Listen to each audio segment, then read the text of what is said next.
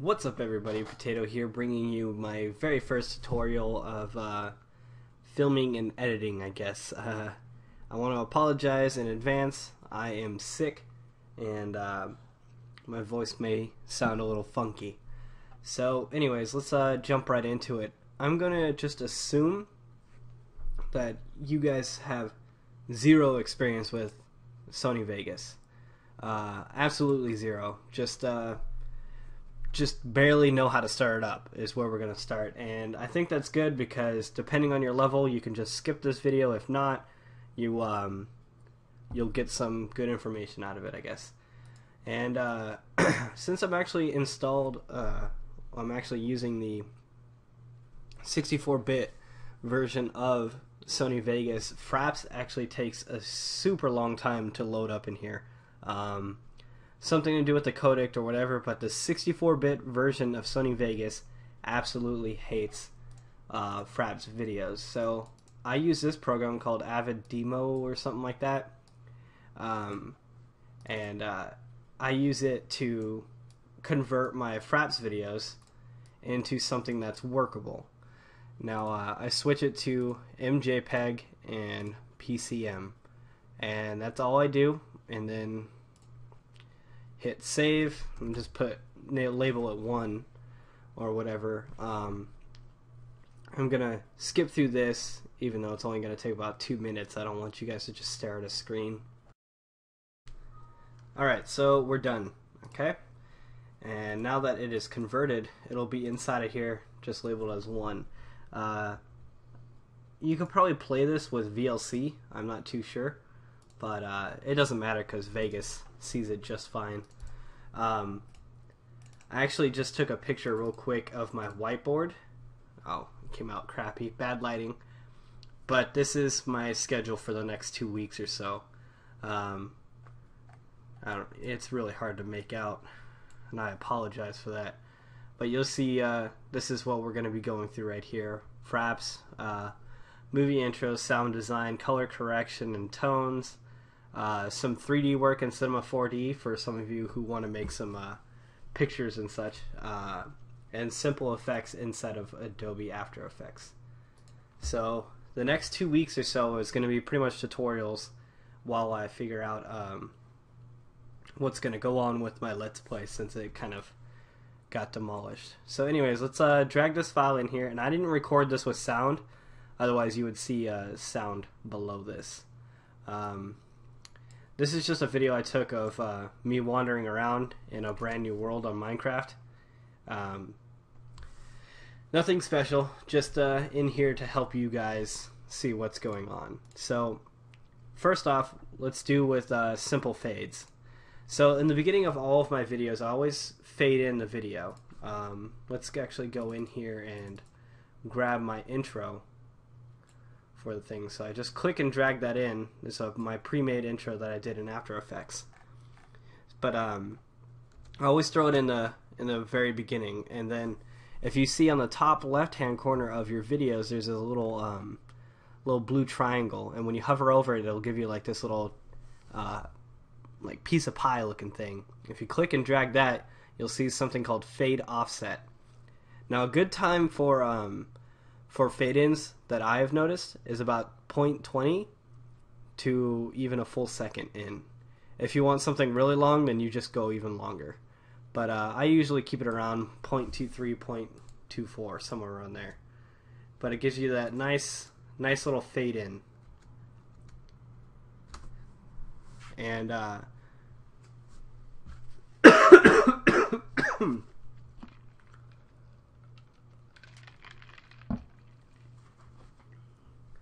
when I um, bring in my my clip of this, I need I want to get rid of the uh, the sound file in here, even though there's no sound. So what I do is either go into here, and um, I think it's actually under. Hold on, I, I, I remember I saw the hotkeys, so yeah, that's what it is. It was under group. Uh, remove from, which is U. I use just U, and it separates these two. So I can drag this around and not move that top one. But beforehand, they're um, they're one. see one clip. But when you press U, it'll separate the two, so I can delete the audio. And um, I take my other clip and drag it in and force it to crossfade between the two for about a second. So you get that nice look right here, where one's fading out and the other one's fading in. So you have this slow intro, kind of shows you what's all about, and then it fades into what we're doing. And you can get away with doing it in about 20 seconds or 0.20, and it's still a really nice crossfade. You know, nice and slow, and it's not too quick. If you did it something really small, it'll fade in really quick. Now I don't really like the feel of that, so I try to do it a little bit longer. So that's how you do that. Um, other than that, there's uh, simple hotkeys like I mentioned before. U will split audio and video apart. Uh, if you hit S, it'll split the clips. So if you wanted to take out a section, you can do that and just hit delete. And then you can just do that. But then it just looks weird. so that's how you would do that. So um, I had a notepad somewhere of of things I wanted to go over with. Okay, I found it. It was right behind me. So fades, fade in, uh, cross fades. Uh, another little thing that I do every now and then is a uh, a picture in picture. So let's um, split this clip in half, and then uh, insert a new video track and let's put this one right over that one so the way the camera is going to see this is that whatever's above is always going to cover what's below. So if this this since this video is on top it in, it instantly covers the whole thing and uh, you can't see what's going on down below. And uh, same thing goes for if this video clip is below and this one's above you'll see this one but not that one. So what we're going to do here is get a little picture-in-picture action. So at the end of your clips, you'll see these two little um, these little icons. One that looks like a square, and the other one looks like I don't I don't even know a robot giving you a hug. But if you click the square, uh, also the tooltip will tell you event, pan, and crop, and that's what you want. Um, this is what the camera sees at the moment. Uh, F is for focus, so that's uh, if you want to rotate your your image, you can do that here, as you can see it rotating over there. Um, and also, if you would like to zoom in, you could also do it from here. Now, what we're gonna do is actually zoom out to make a picture-in-picture. So we're gonna, I'm just uh, using my my wheel on my mouse here and we're going to pull that out. And I'm holding shift while I do this so it snaps to these uh, little dots here. So I have a nice, uh, nice clean zoom out. And uh, the aspect ratio will stay the same. So here we go. Put it up there in that corner. And then uh, you have yourself a nice little picture in picture. And put a little fade in break it in a little bit more. There you go. Now you have two videos playing at once. And um, real simple. Uh, I do this for my outro. I actually have a preset made for my outro. When I click on this, this drop down called Minecraft Ending. And it automatically resizes it and puts it into the center where I like to keep them. And uh, that covers that. Okay, let's move on to media generators. So media generators are really simple. A lot of the stuff that's inside of Vegas is uh, pre-built and set up for what you would actually use it for. There's only three things that I really actually use in here, and that's credit roll, solid color, and text. Um, credit roll is obvious. Uh, I've used this in my Hogwarts builds. Um, if you go in right about here, so you can see it up here. Um, this is basically the position of where the text is going to be. Also, the width of uh, text that will be shown. So uh, you see these blue borders, this blue square. If you have text that's longer than that, it's not going to fit. So you need to be uh, be aware of that when you're choosing what words you have inside of your your uh, credit roll. And uh, the thing I do is go in here and take the background and change the alpha to zero, and then um, I'll change the text to something that's more bearable. To um, Helvetica's pretty good. I, I, I use it a lot. And um, over here is the list of the things that it's going to scroll through. Header separates the parts where it'll fade in and out of. Sub item is the item that's underneath the text here. Let me um, let me move this up so you can see it a little bit better. So sub item text right there, and then if you go a little bit further in, you'll see um, right there, item left and item right.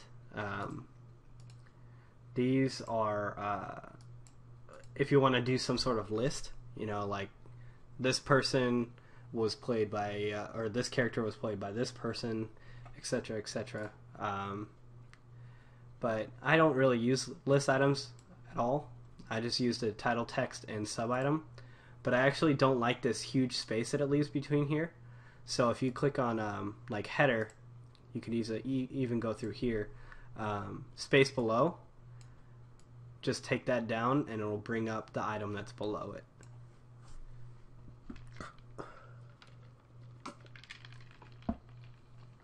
so that'll create a little bit cleaner look.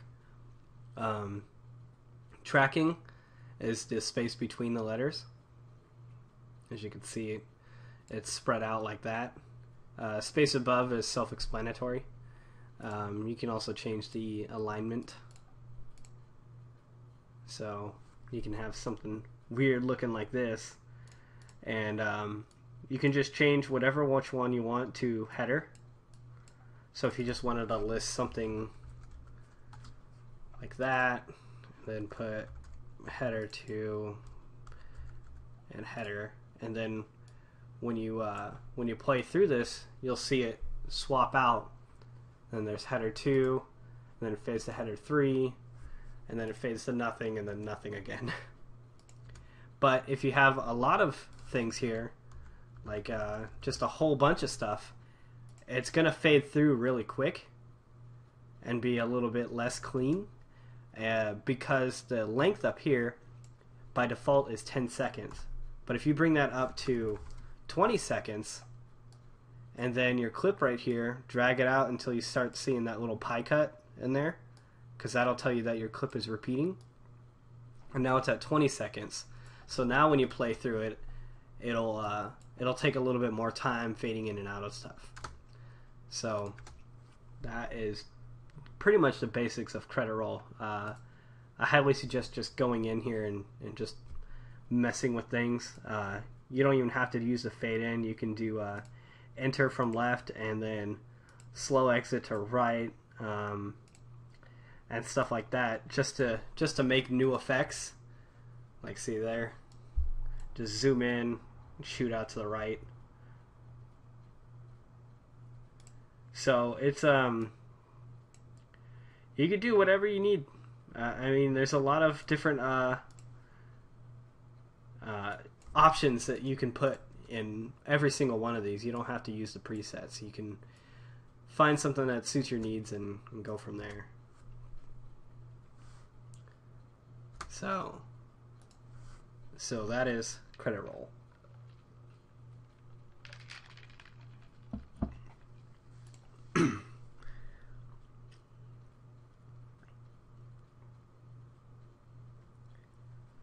Okay, so now that we've gone through credit roll and picture in picture, let's um let's clean up our area here. Uh, let's get to work on keyframes, keyframes inside of Vegas. Now, uh, keyframes may sound familiar to those who have worked in uh, Flash videos and, and stuff like that. It's um, very simple, very easy stuff to uh, to figure out and your keyframes are going to be found right here on the bottom. Now, as I scrub through this, you'll see that it plays through this little clip. And the end of this clip is the end right here where it stops. And the beginning is obviously the opposite end. So, say I want to go about halfway into this. Um, I don't know, somewhere around there. I want to zoom in on something. So what I would do is you can either hit the create keyframe down here or you just scrub to the part where you want it and then change it. And you see it automatically creates a keyframe there so you don't have to. And it'll stay there until say I wanted to zoom back out at the very end and so it creates another one there. And as I scrub through this you see the focus here is zooming in until that point, the center, and then it starts zooming back out to the next keyframe. Now you can increase or decrease this time by dragging these keyframes around. So say I wanted to zoom out or zoom in really quick right in the beginning, but zoom out uh, really slow near the end. I can do it like that, and when I play through, it'll just zoom in really quick and then fade back out. So if we get out of here, you can see what this looks like. Zoom in and back out. You could do this as with uh, rotations as well. So say we want to throw in, um, is that a 180 in there, and uh, it'll come back out at the end. It's a very nauseating effect, but you get how it uh, how it can work. Now, uh, a lot of people are, were asking me how I did the effects with brightening and um, and uh, increasing the gamma with um, Vegas for my nighttime levels, and I use Sony levels right here.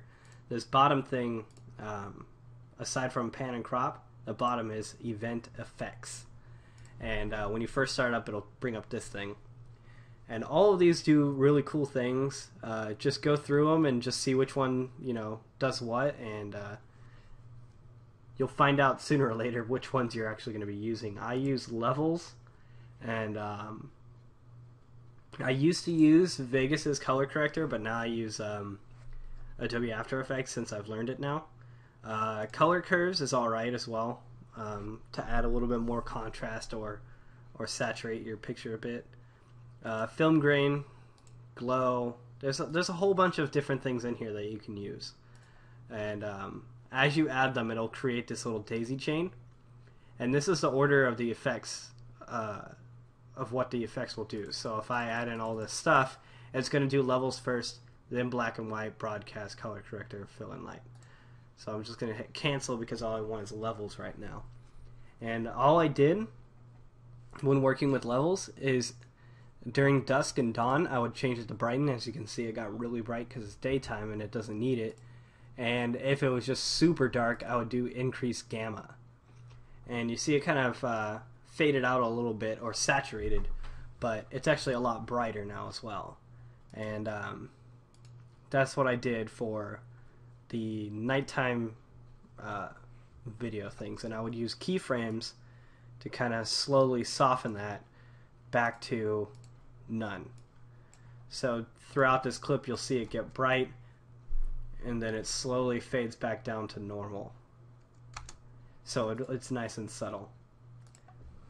So that's uh, basic effects inside of um, Sony Vegas. Now, if we go into this one and do some fun stuff like uh, glow and film effects,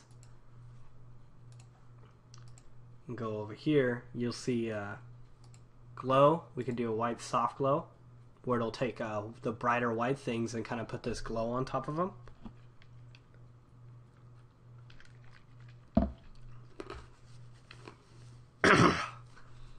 and you can change the um, the percent of the glow down here to where well that kind of looks weird kind of made the sand look like snow uh, intensity you know how bright you would want it, and uh, suppression, uh, which is pretty much the threshold, you know.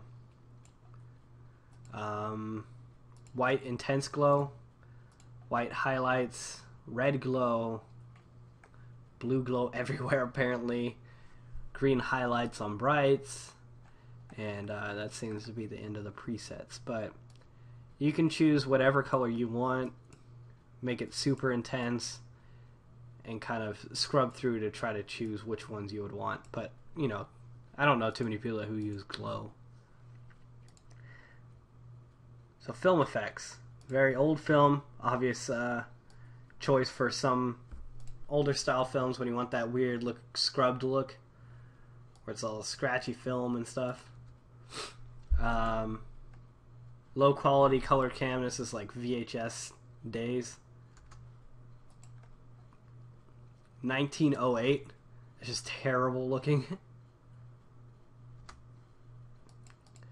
and 1980. Hmm. I, I would assume it would be more contrasty than this for 1980. So, what I would do in this situation is bring up color curves and then switch it to uh, increase contrast. So I have that a little bit more contrast in here. And then uh, actually we can make use of the glow now by doing a, a soft glow. Bring the intensity way down and uh, suppression as well.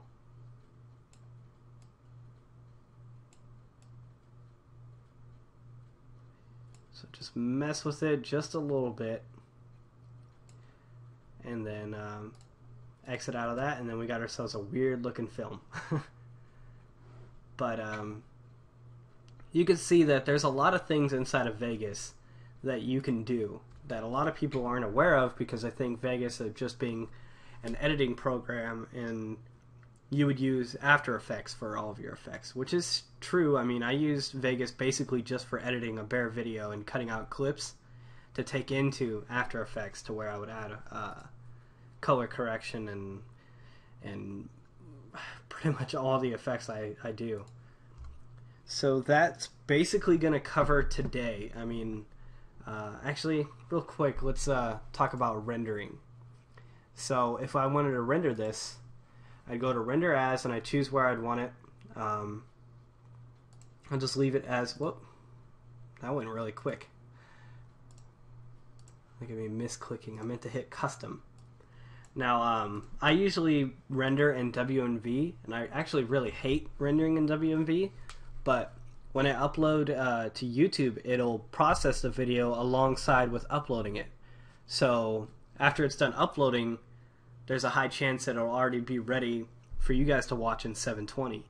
Um, I used to do it in MOV and MP4 because the quality is a little bit better and everything like that, but um, with the limited bitrate that YouTube has, uh, I haven't had any problems with WMV. Um, but for the presets, I use the 720p at 30 frames a second because that's what my my video is at. You can see right here what your project settings are. Mine's 1280 by 720, and it's going at uh, 29.97 frames a second, which is 30 frames a second. But uh, if you wanted to change anything in here, say your your your video is taking a really long time to render, it's mainly because this preset has a six megabit per second uh, bit rate, and uh, that's a pretty high bit rate. Um, but bitrate pretty much delves into uh, how pixelated your videos look from what I've experienced. So uh, you can also go into the video tab here and change it from like 90 to to 60, you know, or uh, even higher if you want to. Um, the lower it is, the smaller the file will be, and um, the it'll decrease the time it needs to render. So you can also do that. So that's basically what my render settings are. Uh, let's actually, that thing was going by pretty quick. Look at that. It's already, already done rendering. There it is. So um, that's basically it. That's not even a megabyte video. And um, and that's well, look at that. Oh, that's why because it only took that one. Oh well. So that's there you guys go. That's a quick tutorial on just how to cut up and put in fades and everything like that. I actually need to go get to work on the uh, the other videos because I'm already kind of behind schedule. So I'll see you guys for the next one. Leave any comments down below of other things that you guys want to know about Vegas or After Effects. Um, if you guys don't leave anything, I'm just going to have to try to think of what you guys want or uh, even get a hold of me on Twitter, you know, of specific things that you want to um, want to get covered. Uh, I will be getting into intros, so don't ask about that. Um, say just wait for the other tutorials. So uh, I'll see you guys later, and actually Wednesday should be the next video. So I'll see you guys Wednesday.